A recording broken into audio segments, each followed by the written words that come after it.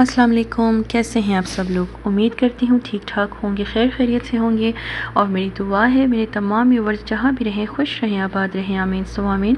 तो आज का जो व्लॉग है, वो मैंने सहरी से स्टार्ट नहीं किया था, क्योंकि बहुत देर हो गई थी और मैंने जल्दी जल्दी सहरी बनाई।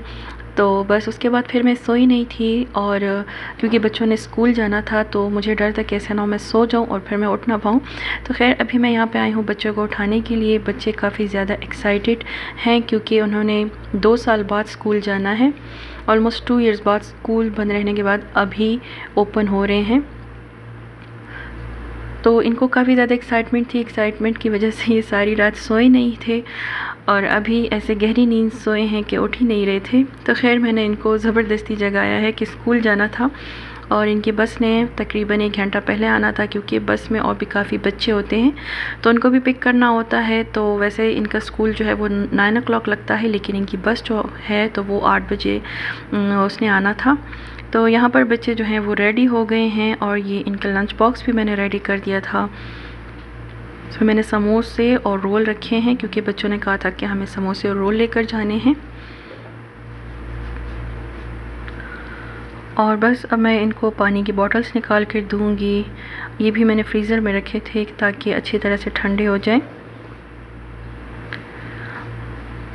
नाश्ते में मैंने इनको कुछ भी नहीं दिया सवाए दूध के, क्योंकि बच्चे कह रहे थे कि हमें कुछ नहीं खाना, पराठा वगैरह बहुत हैवी हो जाता है, इसलिए बस मैंने ठंडा दूध निकाल कर उसमें रूअफ़ज़ा डाल के इनको दे दिया था, ताकि कुछ फ्रेश हो जाए।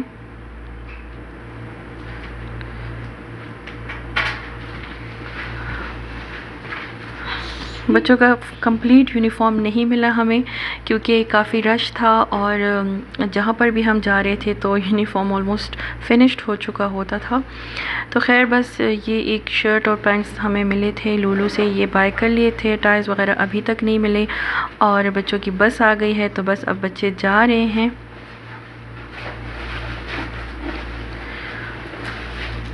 मैं सारी रात सोई नहीं थी और शहरी के बाद भी सोई नहीं थी तो बस बच्चों के जाने के बाद मैं सो गई थी और, यहाँ पर आपको घर सारा उल्टा नज़र आएगा क्योंकि मुझे काफ़ी जल्दी थी सुबह। तो बस मैंने घर को समेटा ही नहीं और मैं ऐसे ही जाके सो गई थी। तो अब मैं करूँगी घर की सफ़ाई। थोड़े से कपड़े जो है वो मैंने धो के डाले हुए थे तो उनको करूँगी प्रेस और बस फिर नमाज़ वगैरह पढ़ कर फिर बच्चों के आने का टाइम हो जाएगा और फिर साथ साथ अफ्तारी की भी तैयारी होगी। तो यहाँ पर मैंने कपड़े ड्राई करने के लिए रखे हुए थे तो वो अब मैं फ़ोल्ड करूँगी। और यहाँ पर मैं अक्सर डालती हूँ कपड़े क्योंकि आपको नज़र आ रहा होगा काफ़ी अच्छी धूप भी आती है और जब मैं विंडो ओपन करती हूँ तो हवा भी लगती है तो कपड़ों को धूप देना मस्ट होता है। और बस अब मैं इसको फ़ोल्ड करूँगी, फिर मैं पढ़ूँगी अपने नमाज़। और नमाज़ के बाद मैंने कुरान पढ़ना था क्योंकि एक दिन मैंने छोड़ा हुआ था बीच में तो फिर वो थोड़ा इंसान छोड़ देता है तो वो बीच में बाद में कंप्लीट करना मुश्किल हो जाता है। तो बस मैं अपने यहाँ अब मैं कुरान पढ़ूँगी और कुरान पढ़ते हुए बच्चों के आने का टाइम भी हो गया था तकरीबन।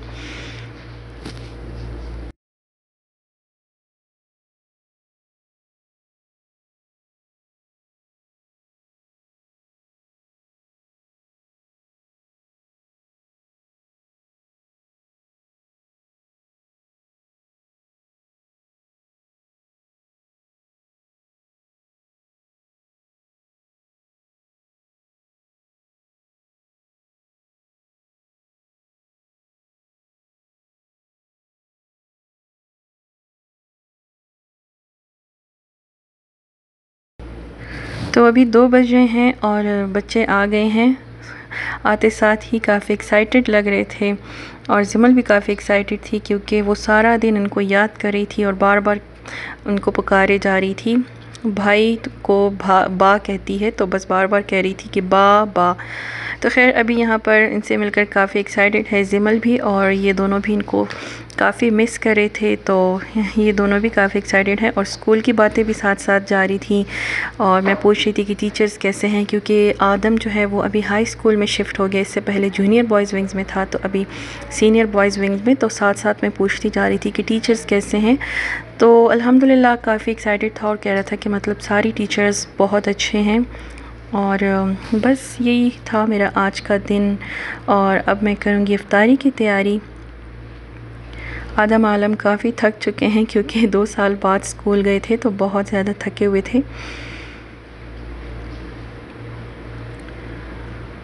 तो यहाँ पर जब मैं कर रही हूँ अफ्तारी की तैयारी तो अफ्तारी में मैं इतना कुछ ख़ास नहीं बनाऊँगी क्योंकि आदम और आलम का तो रोज़ा था नहीं, सिर्फ़ मेरे और मेरे हस्बैंड का था।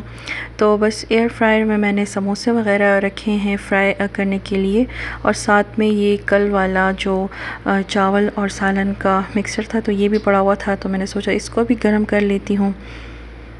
और साथ में आज मेरा प्लान था कि मैं ब्राउनीज़ बनाऊँगी, क्योंकि मेरा बहुत ज़्यादा दिल कर रहा था ब्राउनीज़ खाने के लिए। तो मैं ये लेकर आई थी बेटी क्रॉकर्स वाला, फ़र्ज़ ब्राउनी तो इसको मैं बनाऊँगी और दही बड़े मैंने बनाए थे।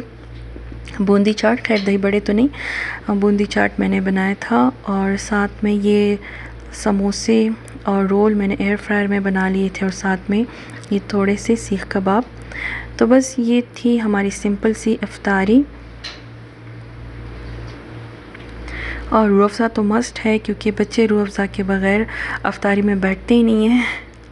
और हमें ख़ुद भी रूअफ़ज़ा पसंद हैं और आज, अल्हम्दुलिल्लाह, दस रोज़े कंप्लीट हो गए हैं, लेकिन फिर भी हमारे घर रूह के अलावा और कुछ बनता ही नहीं है। बस रू रूह डेली बनता है क्योंकि इसके अलावा ये लोग कुछ नहीं पीते, बस रू रूह और टैंक पहले पीते थे, लेकिन अब टैंक भी नहीं अच्छा लगता, ओनली रूह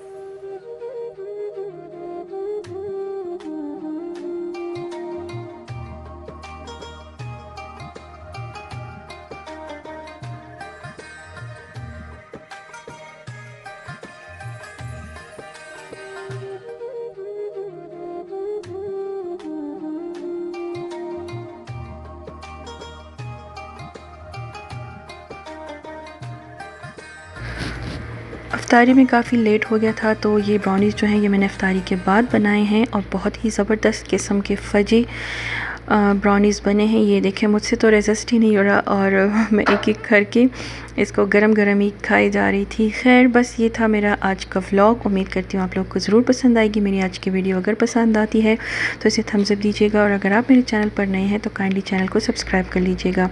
मिलती हूँ नेक्स्ट व्लॉग में, तब तक के लिए मुझे इजाज़त दीजिए। टेक केयर अल्लाह हाफ़